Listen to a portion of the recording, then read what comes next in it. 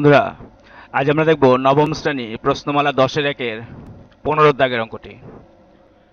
একটি বিশেষ ধরনের কলমের ধার্য মূল্য, ছত্রিশ টাকা পঞ্চাশ পয়সা।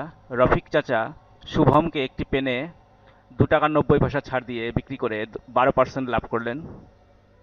যদি তিনি এই ধরনের আরেকটি কলম মিতাকে চৌত্রিশ টাকা পঞ্চাশ পয়সায় বিক্রি করেন, তাহলে দ্বিতীয় কলমটিতে তার শতকরা কত লাভ হবে, নির্ণয় করি। তো এই ক্ষেত্রে কলমের ধার্য মূল্য দেওয়া আছে মানে কলমের গায়ে লেখা আছে ছত্রিশ টাকা পঞ্চাশ পয়সা।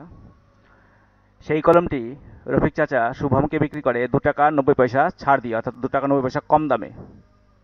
তাহলে এই ক্ষেত্রে রফিক চাচা শুভমকে বিক্রি করে ছত্রিশ টাকা পঞ্চাশ পয়সা মাইনাস দু টাকা নব্বই পয়সা। যে টাকাটা হবে সেই টাকায় বিক্রি করে। এতে তার লাভ হয় বারো পার্সেন্ট।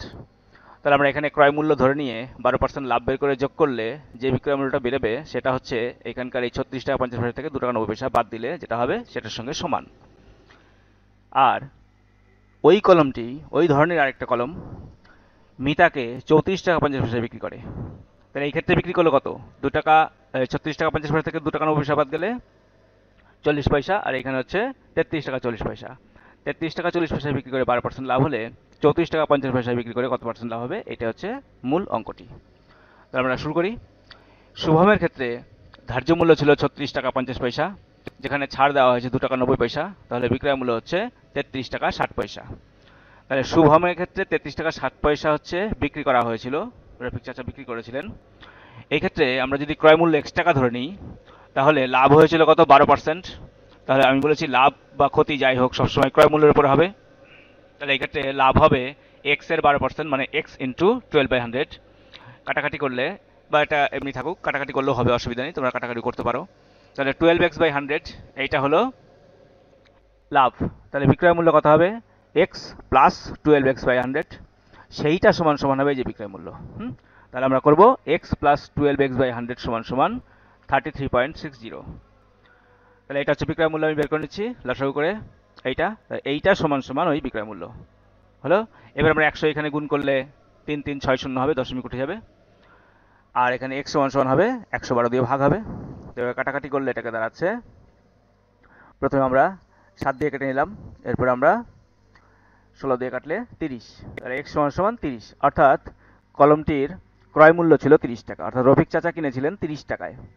তাহলে চাচা তিরিশ টাকায় কিনে শুভমকে বিক্রি করেছিলেন তেত্রিশ টাকা ষাট পয়সায়, তিন টাকা ষাট পয়সা লাভ হয়েছিল, যেটা বারো পার্সেন্ট এইবার এই কলমটি মানে এই ধরনেরই এই কলমটি যার দাম তেত্রিশ টাকা ক্রয় মূল্য, মিতার ক্ষেত্রে এটির ক্রয় মূল্য তিরিশ টাকা রফিক চাচার জন্য, বিক্রয় মূল্য চৌত্রিশ টাকা পঞ্চাশ পয়সা, অর্থাৎ মিতাকে বিক্রি করা হয়েছিল চৌত্রিশ টাকা পঞ্চাশ পয়সায়। তাহলে ক্রয় মূল্য তিরিশ টাকা, বিক্রয় মূল্য চৌত্রিশ টাকা পঞ্চাশ পয়সা, তাহলে লাভ কত? চৌত্রিশ টাকা পঞ্চাশ থেকে তিরিশ টাকা বাদ চার টাকা পঞ্চাশ পয়সা লাভ হয়েছে। এই চার টাকা পঞ্চাশ পয়সা, কত পার্সেন্ট সেটা বের করব? চার টাকা পঞ্চাশ পয়সা ক্রয় মূল্যের উপরে হবে। তাহলে ক্রয় মূল্য নিচে, আর ওপরে চার দশমিক পাঁচ শূন্য ইন্টু হান্ড্রেড করলেই পার্সেন্ট বেরিয়ে যাবে।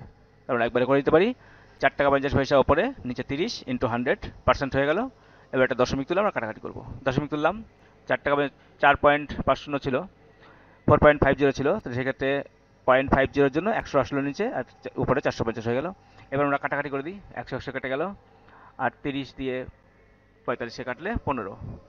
তাহলে সেক্ষেত্রে মিতার ক্ষেত্রে কলমটিতে লাভ হবে মানে রফিক চাচা লাভ করবেন পনেরো পার্সেন্ট। আশা করি অঙ্কটি বোঝা গেছে। Okay, thank you.